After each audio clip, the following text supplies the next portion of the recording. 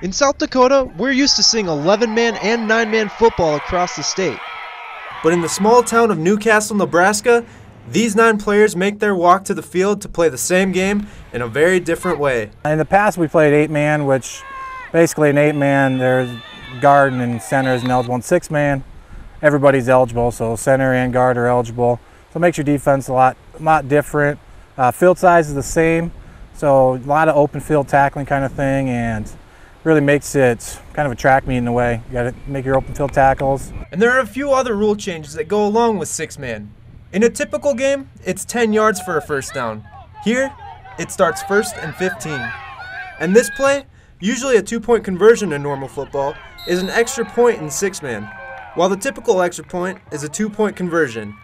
And with all this open field and a limited number of players, these guys have to be ready to play ball all game long.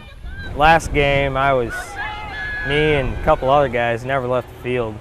It was just, I mean, you get to the fourth quarter and you're just panting, panting, just, just ready for the game to end sometimes. But it was a sacrifice players wanted to make.